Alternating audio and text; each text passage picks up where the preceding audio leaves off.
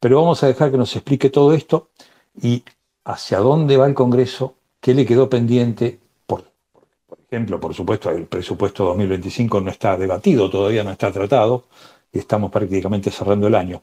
Así que vamos a convocar al diputado Esteban Paulón, diputado nacional del socialismo por la provincia de Santa Fe. Diputado Paulón, Néstor Zula, ¿cómo le va? ¿Qué tal, Néstor? Buen día, ¿cómo estás? Muy bien. Bueno, diputado, cuéntenos por favor esto que quedó pendiente, fecha limpia, que no se pudo debatir, el presupuesto 2025, que no se pudo debatir tampoco. ¿Cuáles son los temas más importantes que, todavía están pendientes en el Congreso? Sí, a ver, son distintas cuestiones porque algunos de los proyectos tienen lo que se llama el dictamen de comisión, es decir, pasaron por las comisiones y fueron tratados, caso ficha limpia, caso del régimen de los decretos de necesidad y urgencia, caso de modificaciones para el voto al exterior, el caso de ludopatía, que son temas que se van a estar tratando esta semana, y otros temas que no se han tratado aún tampoco pasaron por la comisión, por lo que se requeriría que el gobierno los, llame a extraordinaria, es decir, que habilite el periodo extraordinario para que puedan tener su dictamen de comisión, etcétera. Ese es el caso del presupuesto, que si bien estuvimos debatiéndolo informalmente, con invitados, durante tres semanas en el Congreso, no tuvimos luego la voluntad del gobierno de tratarlo en comisión. Se vio cuando el diputado Spert, presidente de la Comisión de Presupuesto, unilateralmente, sin la consulta ni el acuerdo de los diputados y diputadas que, forman parte de la comisión, eh, decidió levantar y finalizar la actividad parlamentaria sin ningún tipo de explicación. ¿no? Entonces, allí hay algunos temas que seguramente esta semana se tratarán, el martes eh, hay una sesión convocada por nuestro bloque y otros bloques para debatir el rechazo a un decreto de necesidad y urgencia de renegociación de la deuda. El miércoles también somos parte de la convocatoria para una sesión sobre ludopatía. Ambos temas están en condiciones de ser tratados. El jueves, el PRO y la Libertad Avanza y algún sector del radicalismo pidieron la sesión para tratar los temas que quedaron pendientes el otro día, ficha limpia, juicio en ausencia, eh, modificaciones al voto en el exterior y el tema de la reincidencia y la em, reiterancia, que son temas vinculados a las detenciones. Eh, por fuera de eso, si el gobierno no convoca extraordinarias, no hay posibilidad de tratar ni la reforma electoral, que está proponiendo el gobierno ya al filo del año, ni el tema del presupuesto. Y sin presupuesto, eh, que se puede tratar en, extraordinarias, se puede tratar en marzo, porque el gobierno amenaza con seguir con el presupuesto 2023 que perjudica, por ejemplo, a las provincias. Bueno, eso se va a terminar de dilucidar si el gobierno emite o dicta un decreto prorrogando el presupuesto 2023, porque en realidad estamos prorrogando un presupuesto de dos ejercicios anteriores, porque este año ya venimos sin presupuesto. Y eso, Néstor, es bastante complicado sobre todo porque primero hay una desactualización de montos y eso le da al gobierno una enorme discrecionalidad en relación a cuál puede ser el uso que haga de los recursos y la asignación de presupuesto. Segundo, porque vimos este año cómo el apretón de ajuste que plantea el gobierno se llevó puesto el 80% del presupuesto que se gira a las provincias por fuera de, la, de lo que se gira automáticamente por coparticipación, pero que son recursos que se utilizan para programas educativos, de salud, por ejemplo, medicación de VIH, medicación oncológica, mm. programas de vacunación, eh, programas de obras públicas, programas de saneamiento, etcétera. Todos esos fondos que este año no se giraron caen automáticamente para tampoco girarse el año que viene si el presupuesto se prorroga. Entonces, Ahora, diputado, eh, ¿no hay una maniobra ahí? Antes de que usted avance con otro tema. ¿No hay una maniobra ahí de expert y del gobierno que le sale mucho más barato seguir con el presupuesto 2023 que actualizarse al 2025? No tengas duda, Néstor, pero en esta trampa y en esta maniobra cayeron los gobernadores. No sé si por impericia, por falta de experiencia, porque hay muchos nuevos, o por eh, haber equivocado eh, la estrategia, ¿no? Porque nosotros desde el Bloque Encuentro Federal qué habíamos planteado en relación al presupuesto y le planteamos a los gobernadores para trabajar en conjunto. El presupuesto que quede en línea con lo que plantea el gobierno, porque es el gobierno que la gente votó y por tanto tiene derecho a definir su presupuesto, pero en dos temas que para nosotros son centrales, uno es la, la recomposición de los haberes jubilatorios y el otro es la recomposición del presupuesto universitario, proponíamos de dónde salgan los recursos y cuál iba a ser la asignación. En ese esquema, el gobierno se llevaba su presupuesto de acuerdo a las prioridades que ha fijado y nosotros garantizábamos los dos rubros más grandes que tiene el presupuesto nacional, que no son para la administración concreta del Estado, que son jubilaciones y pensiones y obviamente el presupuesto de las universidades.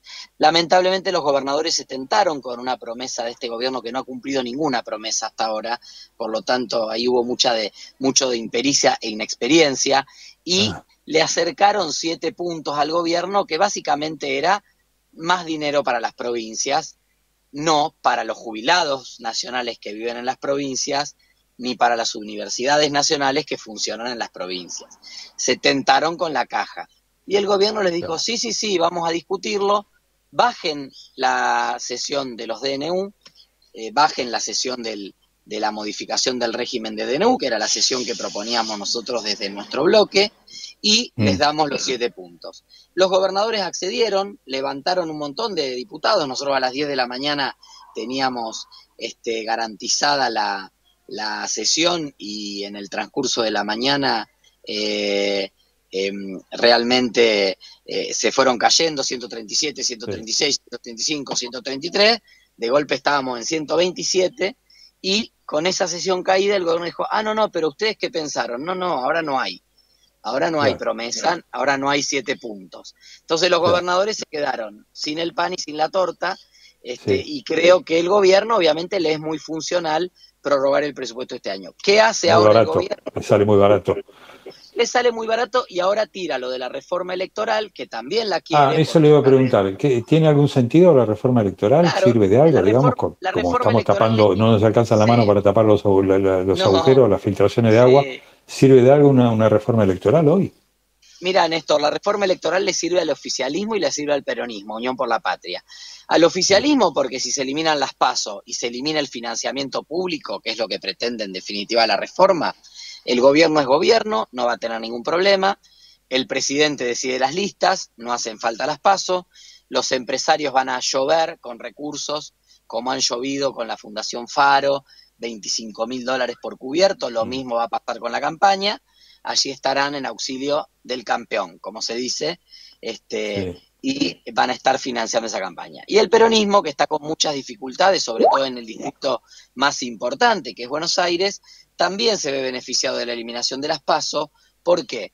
Porque al eliminar las PASO, Cristina, que hoy tiene la conducción del partido, Máximo, que tiene la conducción del partido en la provincia de Buenos Aires, van a poder definir con el sello del PJ las listas que quieran y eventualmente quienes quieran competir, que no van a tener paso y por lo tanto no van a tener competencia, porque en una interna cerrada es mucho más difícil presentarse, van a tener que dividirse y salir con listas propias. Y ahí Cristina se queda con el sello del PJ y sus candidaturas, el gobierno hace negocio también porque divide más a la oposición y es un win-win para eh, Unión por la Patria y para la libertad avanza, ¿no? Y por otra parte, en la parte de la reforma eh, política o de la reforma de los de la ley de partidos, es una reforma muy regresiva anti partidos pequeños y anti minorías. ¿Por qué? Porque te quita el, financiamiento público, por lo tanto, campaña van a poder hacer solo los grandes partidos que tienen acceso a la administración del Estado y a esos recursos, y por tanto a hablar con los empresarios a cambio de algún favor se eleva el piso de afiliados, de, afiliados necesarios en el padrón para poder sostener la personería, se eleva el resultado electoral que hay que tener para poder sostener la personería durante dos periodos, antes era el 2%, ahora lo llevan al 3%, por lo tanto muchos de los partidos pequeños, y se eleva, perdón, se duplica la cantidad de distritos que se necesitan para ser partido nacional de 5 a 10. Básicamente, el gobierno dice que esta reforma es contra los sellos de goma el gobierno llegó al gobierno con los sellos de goma.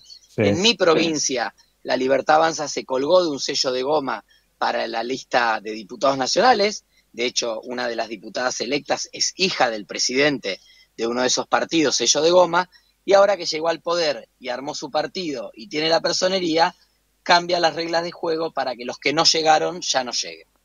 ¿Han hecho ustedes una denuncia eh, de, al, Gordo Dan, el tuitero este que, ahora es este, está armando una fuerza de choque, no sé, bueno, unos disparates ahí este, con, simbología fascista, ¿no? Todo, todo ese acto que hicieron y además lo de, lo de los cubiertos a 25 mil dólares. ¿Qué, ¿Qué pasa con todo eso, con todo ese lado oscuro de la vida?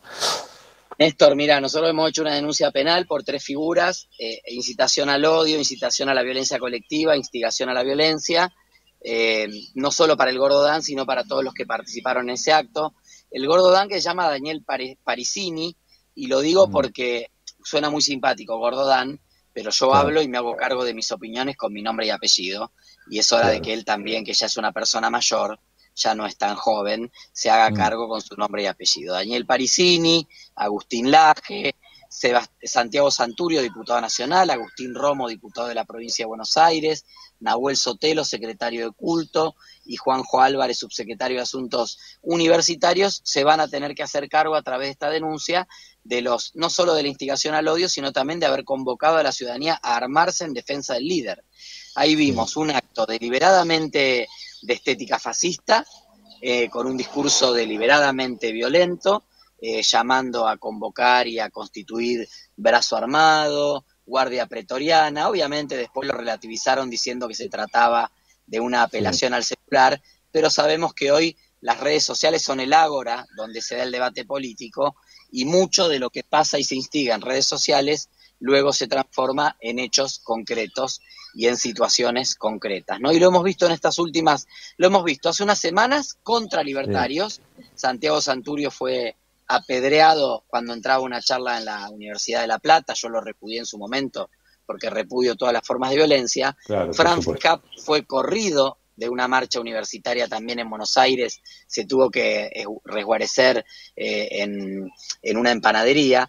Y más recientemente, del otro lado de la mecha, un grupo de investigadores del CONICET, geólogos, agredidos en Mendoza por ñoquis, por el, los ñoquis del CONICET, etcétera, con esta ignorancia que propaga esta gente, y un tuitero muy conocido que a través de una cuenta de parodia muestra muchas veces las contradicciones en las que cae este gobierno, que fue doxeado, esto es, se reveló su nombre y su dirección, le mandaron tres personas a marcarle la casa y subieron esas imágenes para mostrar que sabían dónde estaba. Y luego le mandaron un cajón con arena y gusanos para indicarle también que ese era el destino que le esperaba o que le quedaba si no dejaba de joder. Así que eh, la verdad es, que es todo un delirio, ¿no? Este escuchar el relato de los hechos totalmente. Es, es un delirio, es, es, una ficción, ¿no? Es un guion cinematográfico. Es un absoluto delirio y estos, estos, estos delirios violentos terminan mal, no tienen, no tienen chance de terminar bien, no tienen ninguna chance de terminar bien, terminan sí o sí mal. No, no, es que es este, mira, yo creo que nosotros este, el, en, la, eh, en, el 83, cuando volvimos a la democracia, ¿te acordás que había un lema que decía volver a la vida y volver a la paz? Y hemos decidido desde ese momento construir una democracia en paz, no por ello no apasionada, que llena plazas a favor y en contra de la 125, del divorcio, más allá de, más allá de algún violento que se salga del camino, digamos. Pero en general hemos mantenido un consenso democrático. En este 99% de consenso democrático. Sí, e, esta gente está planteando, Néstor, la ruptura de ese consenso democrático para ir a un esquema de eh, violencia política, de volver eh, a, poner en la dinámica de la, de, la, de la democracia la violencia, algo a lo que no tenemos que volver. Por eso no hay que minimizarlo, no hay que mirar para otro lado, yo como una persona demócrata me sentí en la obligación junto a Mónica Fein de llevar esto a la justicia para alertar a la sociedad, para ponerlo en agenda, que lo hemos logrado porque esta semana se habló mucho de este tema, pero sobre todo para que estos sectores reflexionen sobre el rumbo al cual quieren llevar a nuestra democracia. Perfecto. Bueno, diputado Esteban Pablón, diputado nacional del socialismo de la provincia de Santa Fe, muchas gracias, que tenga buen fin de semana. ¿eh? Buen fin de semana para ustedes también, Néstor, hasta luego. Hasta luego, muchas gracias.